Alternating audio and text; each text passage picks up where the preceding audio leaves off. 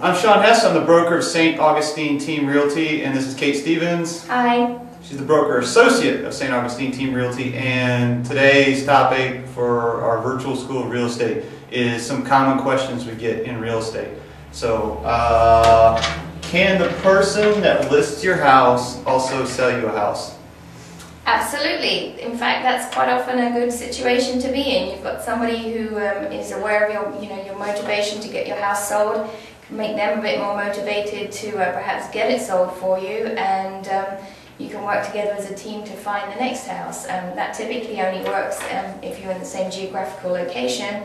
If you are moving out of state or even, you know, a significant difference within state, then you may need to be handed off to somebody who's more experienced in where you're going to, but there's absolutely no reason. In fact, I would say the more that you can collaborate with your agent and uh, work as a team on, on a combined goal, um, the better.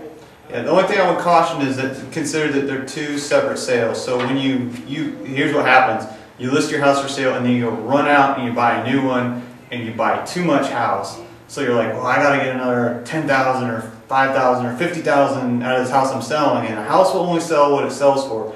So don't overbuy and then saddle your agent with this albatross they can't sell because you now need more money because you bought too much house. It happens all the time when this, this trust me, it's happened to me. I'm sure it's happened to Kate.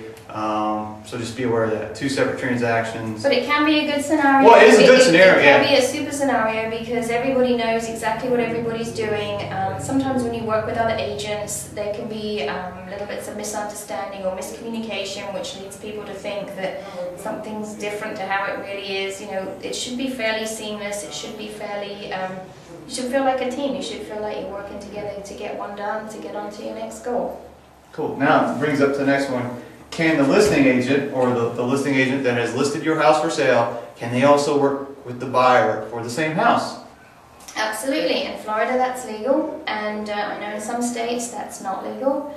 Um, it's I have found it particularly with short sales and REO transactions, or particularly with short sales, quite often one of these transactions is more likely to succeed and more likely to close if, um, as the listing agent, I am also working with the buyer because there's so much dead time and miscommunication and back, backwards and forwardsing that if you have everybody kind of on the same team, it's a lot easier to hold the whole thing together. They feel like they're getting the information from the horse's mouth and not being sort of given the runaround and blown off because some of these are some of their reasons and excuses that lenders come up with as to why a short sale hasn't been approved sound like they could be pretty much made up to get you just to go away and leave them alone. Okay.